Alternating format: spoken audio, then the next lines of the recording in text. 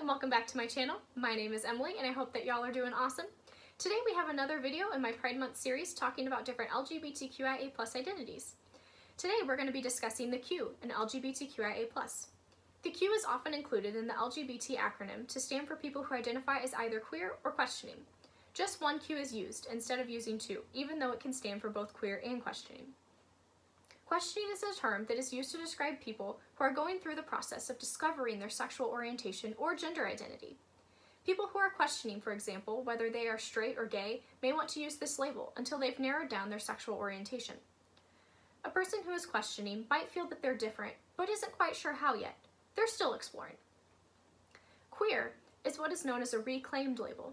For years, queer has been used as a slur or a derogatory term to put down gay people, and it is still used in this way at times today. Today, though, some LGBT plus people, especially young people, use the term queer as an identity to denote that they simply aren't heterosexual and or cisgender. People who use this label may feel that terms like gay, lesbian, bisexual, transgender, etc. are too rigid or limiting, and that these terms don't accurately describe them in a way that makes them feel comfortable using them. They may feel the terms have connotations that don't apply to them, and therefore they simply just prefer the term queer.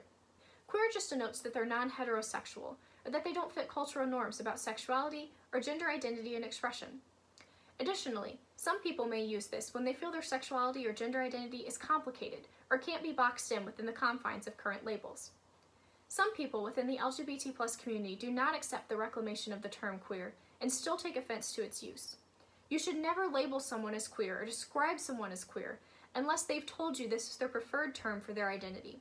Queer is a valid orientation, and we need to be respectful of its use as a label for some people's identities. However, we also need to be respectful of, of, the fact that there are many people who still find offense in a term that was used for years as a slur. I hope this video was helpful in defining these two identities.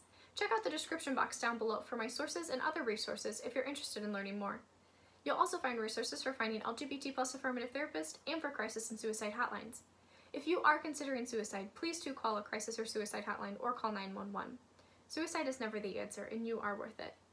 I hope that y'all have a great rest of your day, and thank you so much for watching this video. I can't wait to see you in the next one. Bye-bye!